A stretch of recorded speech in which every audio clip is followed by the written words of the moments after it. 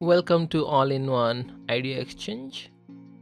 How to add a curtain animation on your presentation. It is very easy and very simple. So let's get started. First, you need to pick one picture which you want to make your curtain like this one here and here I have added okay then here you need to add the animation in the second pictures. Let's play it first.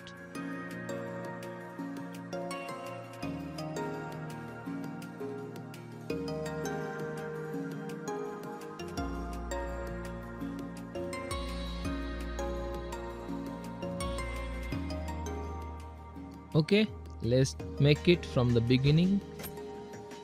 First you need to open your PowerPoint presentation.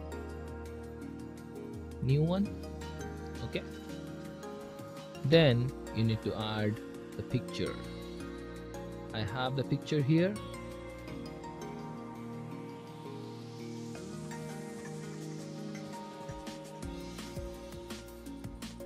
Okay it's added. Then the second picture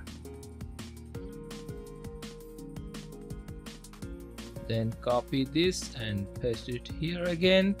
Then add a new slide.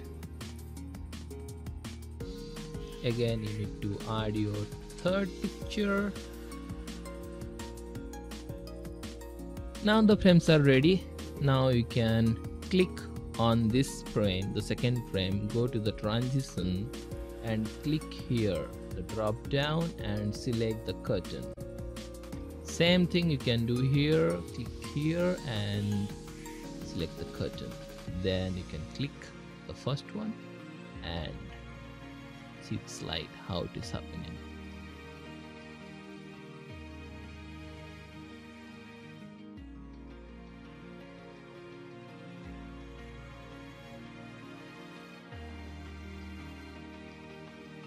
Okay like this you can try in a pc i hope you enjoy the video. See you in the next one. Thank you. If you like it give a thumbs up to my video and comment and subscribe please. Thanks for watching